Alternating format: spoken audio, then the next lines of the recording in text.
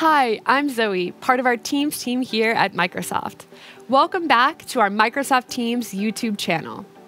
Now, let's say a customer service team member or a cross department team, or maybe even a couple of store locations, have come together to resolve a customer issue, resulting in some great feedback directly from the customer.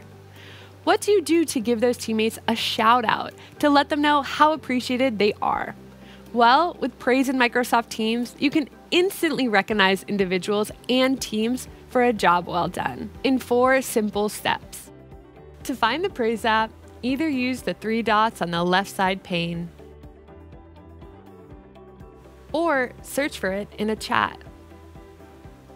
If you have the app pinned to your Teams chat bar, you can even more easily start giving praise in any Teams chat.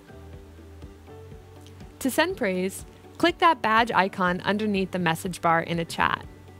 And simply choose one of the badges like Team Player or a custom badge your company has created specific to your team culture and values.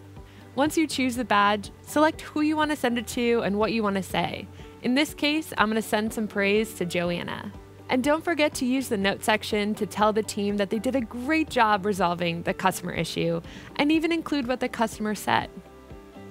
Last, but definitely not least, preview the praise to see what your team will be seeing before sending.